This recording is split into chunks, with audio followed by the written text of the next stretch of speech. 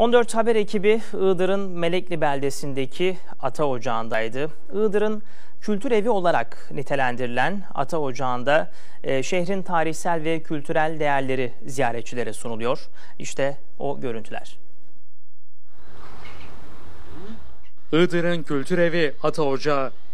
Iğdır ilinin Merekli beldesindeki Ata Ocağı, şehrin tarihi ve kültürel değerlerini ziyaretçilerine sunuyor. Türk Dünyası Kültür Elçisi Coşkun Olus tarafından Özbaba Ocağı'nın müzeye dönüştürülmesiyle toplanılan eserler, Iğdır ve Azerbaycan Kültür Havzası'nın tanıtımına önemli katkı yapıyor. Cumhuriyet'in ilk yıllarından bu yana eserlerin sergilendiği müzede bir de sanat atölyesi yer alıyor. Bölgenin simgeleri çoğu el yapımı ürünlerde yaşatılıyor. Şehrin en çok ziyaretçi çeken evine yurt içi ve yurt dışından Iğdır kültürünü merak eden turistler büyük ilgi gösteriyor. What is it called? What is this one? Bu e, babadan kalma bir tutku. Öncelikle bunu belirtmek isterim. Babamdan kalma birkaç eski eşya vardı. E, zamanla ben de e, etrafta komşuda olan eski eşyaları e, evde bulundurduğum eşyaların yanında e, bir şekilde sergiledim.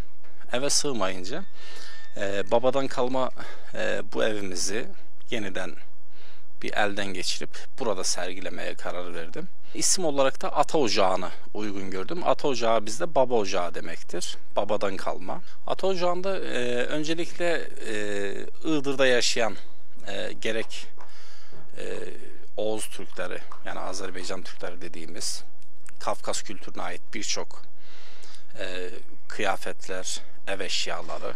Bunun yanında yine e, bölgemizde e, Iğdır'da bulunan Kürt halkına ait folklorik kıyafetler, e, kullandığı eşyalar sergilenmekte. E, yontma taş devrinden tutun Urartular, İlhanlar, Timurlar, Akkoyunlar, Karakoyunlar, Selçuklar gibi e, birçok uygarlığa e, ait izleri, bilgileri bulabilirsiniz. E, bu zamanla tanınmaya başladı at ocağı. E, şehrimize gelen e, yabancı turistler, e, Avrupa'nın veya da dünyanın herhangi bir şehrinden gelen turistler Iğdır'a geldiklerinde Iğdır halkı da burayı iyi tanıyor. E, genelde ilgili kişiler burayı yönlendiriyor. Onlar da burayı tercih ediyorlar. Dünyanın birçok ülkesinden ziyaretler yapılıyor buraya. Ee, açıkçası buraya ilk kez geliyorum. Hani gelmeden önce buranın bu kadar güzel eserlerle donatıldığını tahmin etmiyordum. Tabii ki buradaki eserleri gördüğüm zaman çok şaşırdım. Çok güzel, çok değerli eserler toplamışlar. Ya buraya ben ikinci gelişim. Ee, muhteşem bir yer. Yani herkesin yani gelip burayı görmesi lazım. Yani o kadar güzel şeyler var ki belki biz bunu e, müzelerde bile e, görmeye alışkın değiliz. Çünkü orada bile bu kadar çeşit yok. Burayı yapan işte arkadaşlardan Allah razı olsun, emeği geçenlerden herkese razı olsun. E, Ata Ocağı Kültür ve Sanat Evi e, kimliklerimizi korumak ve tarihimizi bilmek açısından önemli eserlere ışık tutuyor ve yer veriyor.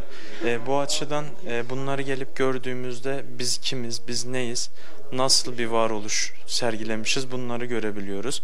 Yani tarihi açısından ve kültür açısından değerli bir hazinenin bu ocakta, bu ata ocağında buluştuğunu görebiliriz. Daha önce ilk kurulurken gelmiştik. O zaman da çok etkilenmiştik tarihi. E, şu an geldik tekrar. Çok güzel düzenlenmiş, harika olmuş. E, tarihi alıp götürüyor. Geçmişini Iğdır'ı, Iğdır'daki yaşamı, kültürü daha iyi anlıyoruz burada. Öncelikle böyle bir oluşumun içinde bulunabilmek, buraya gelip ziyaret edebilmek çok güzel bir duygu. Çünkü Iğdır yöresine ait tüm e, kültürel birikimler, e, heykeller olsun, kitaplar olsun birçok kültürel öge var ve bunları burada yerinde ziyaret edebilmek çok güzel bir duygu. Öncelikle e, Iğdır'da böyle bir evin olduğunu e, yakın zamanda duyduk. Daha önce fotoğraflarda falan görüyorduk.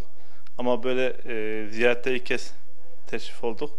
Yani Iğdır için çok güzel bir yer. Yani böyle kültürlerin bir arada olması, bir yere toplanması, gelen kişilerin her bütün kültüre bir arada yaşaması çok güzel bir şey. Herkesi, bütün Iğdırlara davet ediyorum. Gelip görebilirler.